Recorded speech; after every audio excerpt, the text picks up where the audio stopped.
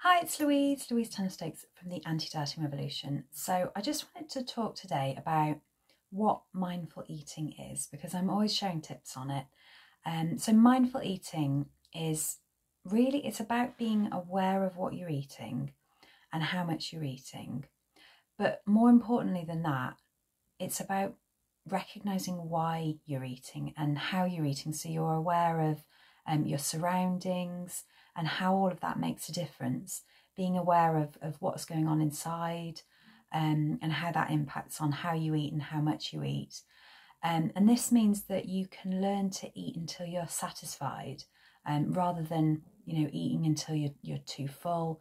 So then that means you, you um, avoid overeating.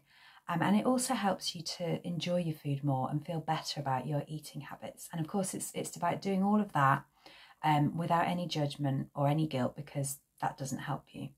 So give me a shout if you want more help to eat more mindfully and ditch dieting forever because you deserve it. You deserve better than all that.